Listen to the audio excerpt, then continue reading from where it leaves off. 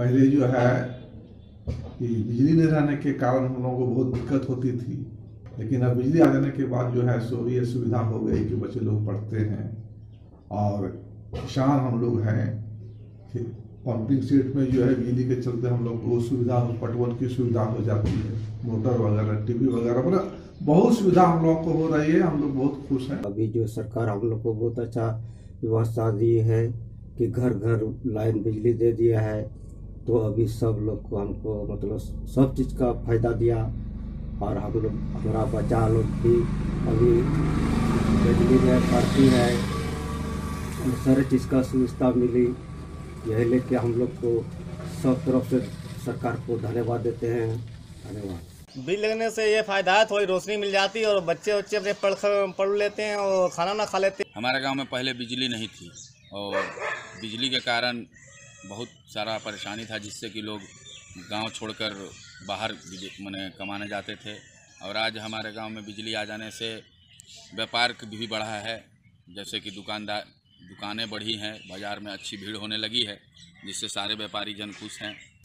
तो अभी जो है, बिजली आए हैं, पहले नहीं था। तो मेरा जो बच्चा बहुत अंधेरा में पड़ रहा था। अभी जो बिजली लाइन आया गया तो अच्छा से अभी पढ़ाई हो रही है। तब तब बहुत खुश, बहुत हम खुश लगा सर। मेरा नाम मीना देवी है। मैं सीसई प्रखंड ग्राम छारदा से हूँ और पंचायत भी छारदा है। मेरा गाँव में बिजली आया हुआ है। बिजली से हम लोग को बहुत लाभ होता है। बल्ब जलाते हैं, मोबाइल चार्ज करते हैं और बच्चे पढ़ते भी हैं। और लगता है कि अब गाँव से हम लोग शहर की ओर बढ़ रहे हैं। हमार नाम कुंवारी देवी और हमारे गाँव का नाम लठदा पोस्ट छरदा थाना सिसई।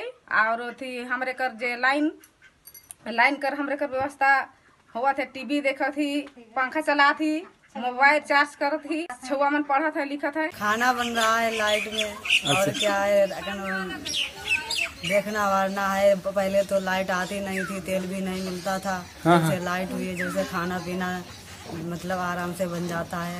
हमार नाम अजय करमाले। गाँव हमार कुमार डुग्गी जिला हमार हम पश्चिमी सिंहभूम हमार गाँव में पहले बिजली पानी के सुविधा नहीं हलन टीवी उवी नहीं देखे पा रहा हरियन। हर तरह से लाइन के चलते हमने वंचित हरियन।